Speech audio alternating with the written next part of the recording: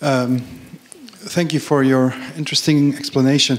Now, I don't want to rain down on your parade, but I do want to ask you a question that you could consider tough enough to earn that book. So, you build your analysis on the limited amount of resources and the truth that the rise of the exponential curve uh, comes about very quickly. But re regarding oil, for instance, haven't motors become more efficient? And regarding copper and other resources, wouldn't there be an enormous incentive in the market to go recycle?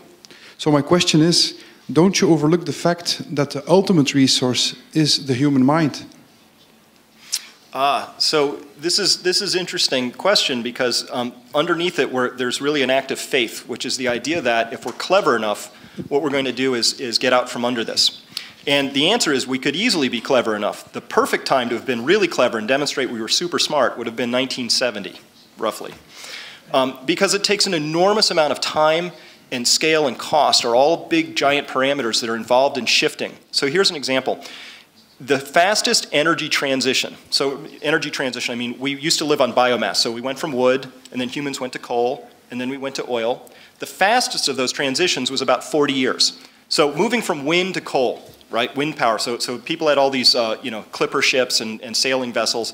And then the steamers came along and they were way, way more effective and efficient. And still it took 40 or 50 years before the last clipper ship went away and, and we were all running on steamers. Why was that? Because the embedded capital that was already there embodied in the clipper ships we made, people made the very natural decision. What we were going to do was allow those, those capitals to completely depreciate before we moved on. So here we are, it's 2011, and if we wanted to right now, tonight, snap our fingers, we've got the perfect electric vehicle, only cars that can be sold starting tonight are electric vehicles, that's it. But we're going to allow you to have your existing car, which has a lot of embodied energy in it, die a natural death. How long is it before we've replaced half the vehicle fleet in the world? And the answer would be 10 years. Now, we actually can't produce that many cars at, at present, electric cars, and we don't even know if there's enough, enough lithium to create the batteries to do that. And so there's just this incredible embodied energy and time and cost involved in making an energy transition. That's part one. Part two is humans as a species have never had to go from a more, uh, a more concentrated energy source to a less concentrated energy source. Moving from wood to coal was moving up the curve to a much better, more concentrated energy source. And from coal to oil, same thing. To move from coal, uh, uh, sorry, from coal and oil right now onto alternatives, solar, what have you, means we're going to be moving to a more diffuse energy system. The costs involved are staggeringly more involved than, than moving up the curve, moving down the curve. And we've never done it before. And if it takes four decades, where are we in this story? So my answer to you is yes, we can be very clever, we can be very creative, but there are certain realities of things that we cannot do. And I believe, trust me, we're going to make very ingenious decisions. We're going to do some incredible things, but the mistake would be to think we're going to do that without having to make any changes to our lifestyles. We'll do it completely without disruptions, and we'll do that seamlessly by having the future look just like the present, only larger. So um, going on to that, is there anything on the energy cliff which is above 221 which can buy us 10 or 15 years of time until we invent fusion or another higher energy um, energy source? Yeah, so what we're not facing is an energy crisis at present. Certain wind and solar technologies uh, have returns that are in the 10 or 20 to 1 range, but they give us electricity. Um, we have plenty of electricity at present. The story I'm telling is around a liquid fuels emergency uh, that, that's potentially brewing. And so at present, there are not that many alternatives for liquid fuels that can really operate at scale. Biofuels turned out not to really work as well as, as expected or hoped. In many cases, their energy returns are poor. They have other environmental consequences that are sort of being revealed as we move to scale. Um, and so the idea here is that we do have to move. The, the huge en energy opportunity is to figure out how to move to electricity to transport things. That's going to be an enormous growth opportunity. The bridge fuel, I think, if we wanted to use it as such, would be natural gas at this stage. And there again, we have an enormous story because we don't have that many cars or, or, buses that can run on compressed natural gas. We do not have filling stations that the average person can use if they exist at all. We need new pipelines. There's an enormous story of investment there that will have to happen. That would be the bridge fuel. In the meantime, what we have to do is get a new story in mind, which is that our job is not to grow as fast as possible, meaning figure out how to put more resources through the economic engine as fast as possible. We'll have to shift our story to one of stewardship which was implied in your question. We're going to use our remaining resources wisely to have the most disruption-free transition from point A to point B. And that's something we absolutely could do. But will we is another question. Um, yeah, hi, uh, a very good presentation. And my fear is as well that uh, we might face this kind of future. Um, but uh, there are some people uh, who think um, that there are just some interests um, who uh, um, just that the big oil companies just uh, don't want to sell their oil at a lower price, and so that they uh, hold back some of the oil. So um, my my question is: uh, uh, Do you think that uh, perhaps the abiotic um, oil theory from the Russians invented in the in the 50s? that there might be possibly, uh, I hope that there is some way out and that it's really the story is that uh, the uh, oil is held, uh, held, back just to achieve higher prices, but the prices in real terms in gold are not higher uh, from oil uh, compared to 30 years ago. Right, so the question um, first is there some sort of a, a conspiracy to hold oil production back? And the answer to that is no as far as I'm concerned. And here we can look at most oil now is nationalized. Very, very little of it still exists with major corporations which could independently make that decision. So now we have to believe that Mexico is purposely throttling back its, its um, production from the Cantarell field and from um, its other fields. And Mexico derives 40% of its government revenues from the export um, skim that they take off of their oil and they are collapsing at, at, an incredible rate, and it's starting to create enormous difficulties uh, on the funding side for the whole Mexican government. So we have to believe the Mexican government has said, you know, what we're going to do is we're going to really like skate right up to the brink of disaster politically um, in order to hold oil back from the market because we think we can get a better price later. That, that, that's an unthinkable concept, I think, at, at the level we're talking about.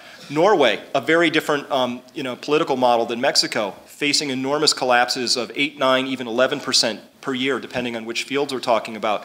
And so we would have to believe that of the 45 countries that are now producing less than they used to, uh, that they've all decided together um, to do that on purpose. And, and that just seems like an unthinkable concept to me because it, it means that everybody has to be in on that story somehow. And there's so much self-interest in, in not being part of that story. There's so much self-interest to, if you've got it, pump it. Oil is over $100 a barrel on the world market today. It's an incredible price by historical standards. I have every confidence that those who have it and can pump are pumping pretty much as hard as they can. And so, you know, that's a story that, that I think is, is pretty much true. The abiotic theory, if, if I could just last year I went to Midland, Texas, um, which is right in the Permian Basin uh, of, of, Texas, and they've got the oil museum there, which is the Louvre of, of oil museums. I mean, it's gorgeous. And I wish I could take people there because they have this full uh, mock-up, a room you walk into, which just has all the strata of all the rocks, and they show you where the oil-bearing layers are, and they've mapped it down to within the nearest 10,000 years in this band that stretches back 80 million years.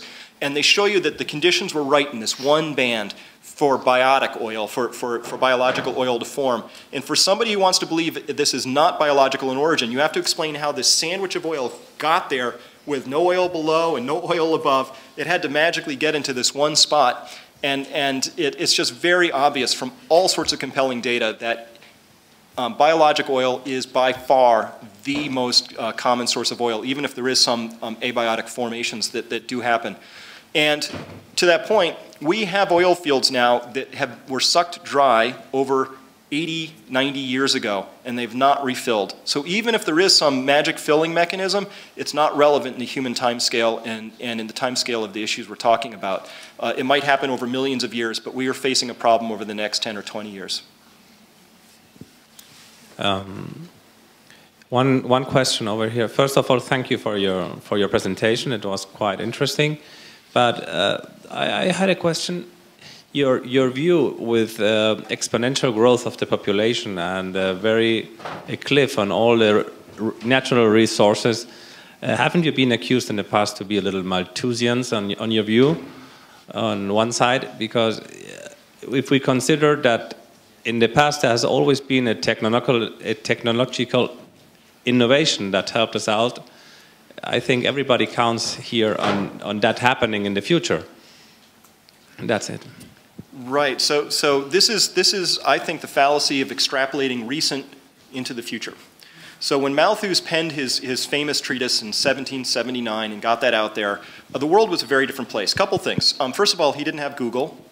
Um, so he had access to relatively poor information. Second of all, coal hadn't even begun to be exploited yet, so he didn't understand that there was a huge energy revolution coming, and an industrial revolution. And so here we are, we've moved from, from wood to coal, coal to oil. The answer is what's next? Big, giant, floating question mark there. And it's an open question. We have a lot of very, very intelligent people, billions of them, looking at this, and nobody has an answer for that one yet. What that next energy source is that we're going to move to. And the other thing is that in my lifetime, world population has more than doubled. That didn't happen in Malthus's time. We live in extraordinary times, and, it, it doesn't, you don't even have to crack the newspaper very far to see that we're experiencing all sorts of challenges, whether it's water tables or arable soil or uh, you know, mineral depletion. These stories are all right there. And so I, I do reject the idea that we can look back and say some guy in the late 1700s was wrong once. Therefore, everybody has to be wrong forevermore on this subject. It seems limited to me. And we have incredible amounts of data right now. And what I'd prefer to have, rather than um, a, an argument over, over whether it's possible to be wrong in the same way twice, I'd rather look at the data and say, what is this telling us? How many quadrillions of BTUs do we have? How many are we expecting? Is there a shortfall? And if there is a shortfall, how are we going to make that up? With, with opportunities that are realistic, that we, that we know about. I don't have much interest in hearing about some guy in a lab made a beaker of something. Um, I'm interested in, show me the plant that's operating 100,000 barrels per day at a commercial scale that makes sense, and I'm interested all of a sudden. And there's just an immense amount of data that we can scratch at, an immense amount of experience that says, here are some things that simply suggest what's going to happen is change is coming. And that's my key point. I'm not here predicting a mass die-off. I'm not here predicting catastrophe, and I'm not going to tell you when. I'm saying that the mistake would be thinking that the future is going to resemble what we just lived through. And it's a very easy mistake to make. And I might be completely wrong, but what I'd love to have is that data-rich argument and counterbalancing argument, even a debate that would say, here's some credible things that we can point to that suggest how your story might be wrong, um, rather than casting all the way back to the 1700s, um, would be uh, my response to that. Okay, otra pregunta ahí arriba.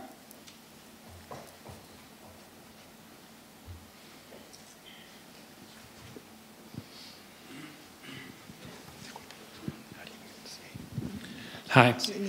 Could you share your personal forecast for oil in the coming years? My in price. Uh, in price. Um, I'm, I'm actually less price sensitive. So, so if I can hedge that and say in, in current dollar terms, because I have no idea what the value of the dollar is going to be going forward. So holding the dollar constant, which is a big if, um, my expectation would be that um, I am personally forecasting that we're going to have a supply and demand imbalance that will be completely obvious by the year 2013, give or take a year. And, and that's based on looking at uh, current consumption patterns, looking at the depletion rates for all the major fields, looking at the new things that are coming online, and making one more assumption that we don't have some giant global recession slash depression that knocks demand um, uh, for a loop. But assuming that you know, things limp along as they currently are, um, I'm looking for supply and demand to get seriously out of whack in the 2013 timeframe. When that does, we will see uh, oil, I think, double in price pretty rapidly, and then probably triple in price before it completely, uh, you know, uh, hamstrings world growth again, and, and, we go through a sawtooth pattern of economic recovery and uh-oh, oil prices um, collapse it, recovery, oil prices collapse, sort of a sawtooth pattern as we go down is, is generally how I think this is going to work. And um, what I'm looking for here is, is really around the idea that um, oil, the thing that we have to understand, so 86 million barrels per day is total liquids production in the world. It's not the important number. The important number is how many of those go onto the world export market. Because most oil actually gets produced and consumed in the, in the host countries. 35 million barrels is how many uh, barrels make it onto the world export market. If that, for whatever reason, suddenly goes to 34 instead of 35, that's when the trouble starts. And so when I say I'm looking for a supply-demand mismatch in 2013, that's right around the time I'm expecting peak oil to be publicly recognized, not by a, a bunch of engineers or, or within um, certain uh, oil majors or even with certain countries like Sweden has a whole plan for how they're going to get off of imported oil by 2020. So beyond, beyond those, those groups, I'm saying world recognition of peak oil will probably happen around 2013. And when that happens, I'm expecting at least one nation to nationalize their oil, maybe Norway. Says, you know, instead of exporting 1.2 million barrels per day, we're going to keep that and we're actually going to um, bring that into our own country and save that for future generations. That's all it will take to seriously spike oil prices because oil prices are set at the margin. If we need 35 million barrels on the world export market and we have 34.9, we have a big problem. And that's when oil spikes, right there and then. Um, you know, in 2008, when we had that oil price spike to 147 a barrel in July, that happened because for five out of the six quarters preceding that spike, world oil inventories were drawn down because we were consuming more than we were producing, even at the highest incentive ever to produce. And so that was my first wake-up call that said that's what the dynamic is going to look like. It's going to look like 2008, only next time I think it'll be more dramatic, which is why I would forecast a doubling. That is going to at least $200 a barrel.